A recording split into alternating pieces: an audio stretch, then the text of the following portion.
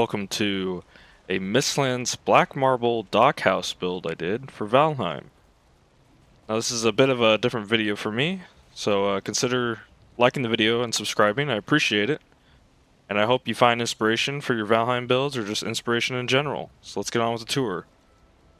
First off, we have the dock here. You bring your boats in, we have some crates. Further in, we have some banners, so a bunch of more storage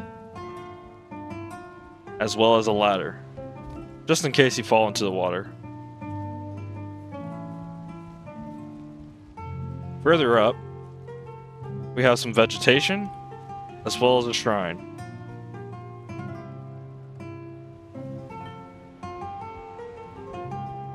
Up these stairs, we have the forge, as well as some storage and a seating area, so you can look out. It's very nice. And fully functional forges. Up to the front of the house, we have another little shrine. Well, some trophies for decoration, and some banners. Heading inside, we have the workshop. So here we have the new press from the Ashlands update, as well as the artisan table. There's some chests, some uh, capes and weapons all around the walls as well as a workbench right here.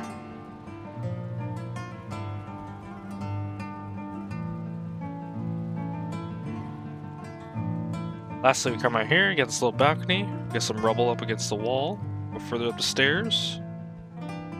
You have a little balcony, a chair and a table, some pots, and you can look out into the ocean.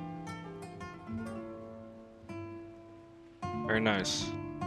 Coming to the bedroom right here, we got some armor, some weapons all around, some storage, and two beds.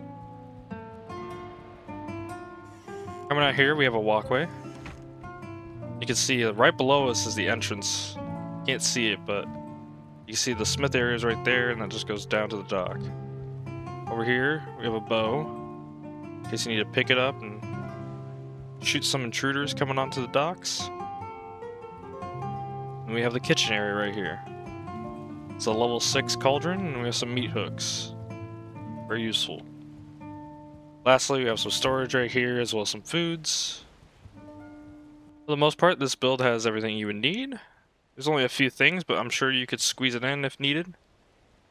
But this is mostly just to kind of test how uh, how I can build in creative, and I think I did a really good job with this build, and uh, I hope you guys enjoyed it. Consider subscribing, liking the video for the end of the video, I'm going to give you guys some uh, cinematic shots. I hope you guys enjoy it.